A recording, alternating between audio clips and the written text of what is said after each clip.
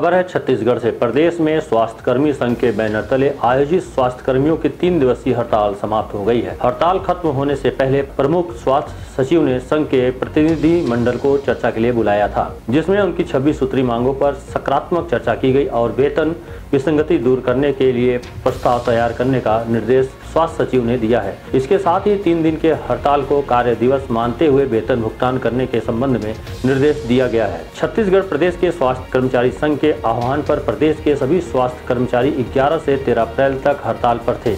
इसमें राज्य भर के तकरीबन तीस हज़ार कर्मचारी शामिल हुए थे। कर्मचारियों ने अपनी 26 सूत्री मांगों को लेकर कामकाज ठप कर दिया था। और हाँ हमारे चैनल को सब्सक्राइब करें, घंटी का बटन दबाना न भूलें, जिससे नई अपडेट आपको समय समय पर मिल सके।